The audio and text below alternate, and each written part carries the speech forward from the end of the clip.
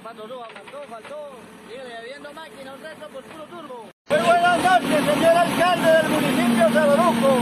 Date de cuenta de lo que hacen los campesinos trabajando de noche y así para cuando vayan a buscar gasolina y al municipio les presten ese servicio.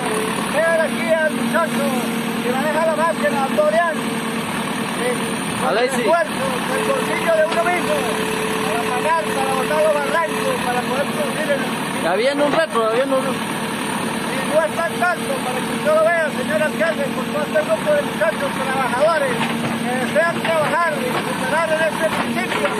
Hay que ayudarlos y darles el apoyo. Esas máquinas que hay en el municipio tienen que arreglarse de una manera o de otra, no venderlas.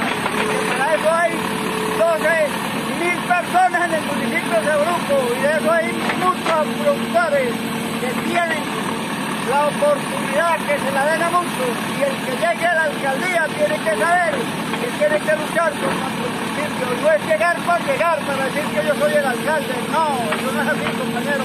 Tiene que llegar una persona que tenga gaje de trabajo. Sí, este mensajito se lo vamos mandando para que muchos de los que han llegado a la alcaldía del municipio de Bruco nada más las máquinas para aquel porque es ello. Aquí tiene que ser es para todos por igual. Señor alcalde, en, en Seguruco, no es para llegar a yo a ser alcalde dame el lujo, estarme bien tranquilo, los campesinos fregados, sin carretera, sin que a esta carretera se ha arreglado a puro pico y pala, compañero, a pico y pala, y hoy que estamos pagando esta máquina para poder solucionar el problema.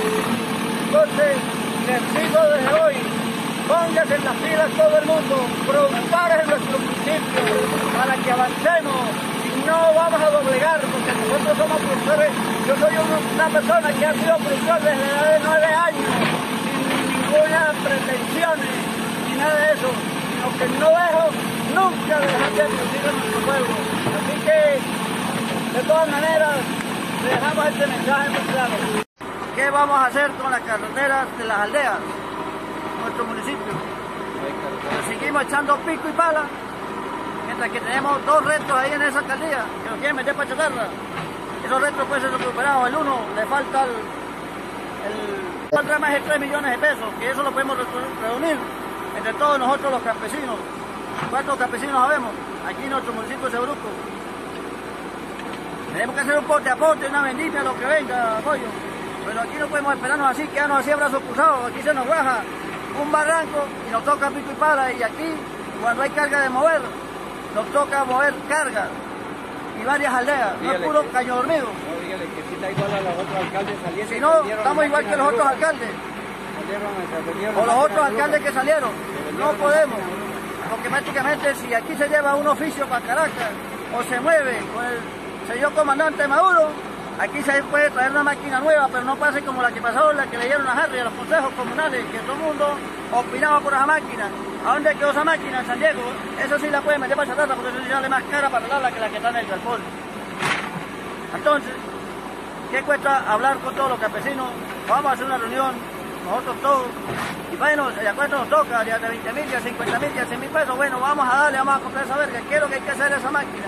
Hay que hacer los bolsos, que no saca para la fría en una grúa, o se hace algo. Y si no tiene caucho, como contaron, bueno, hacemos un pote a pote, se le compran los cauchos, que eso no vale mucho. Porque verdaderamente esa máquina necesitamos nosotros aquí para nosotros los campesinos.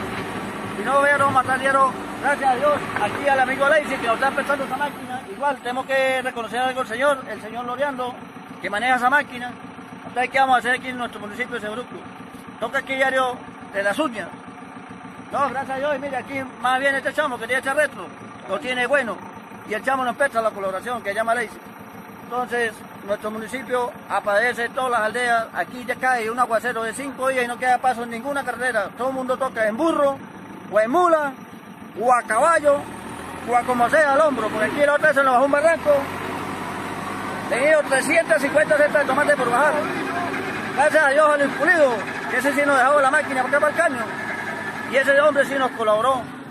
Y esa noche trabajó la máquina toda la santa noche de para arriba apenas me abrió paso por la 350 y le amarramos la 350 y la Toyota para bajar el tomate. Mientras que nosotros casi nos mata ese barranco. tirando pito y pala, se llevó la herramienta, llevó las carretas, tiró todo y nunca pudimos destapar el barranco. Muy buenas noches, señor Goyo, pero ayúdanos por favor, porque esto no es para mí solo. Hoy por mí, mañana por ti, y esta máquina si la arreglamos, queda para nuestro, nuestro pueblo o el municipio. Muy buenas noches.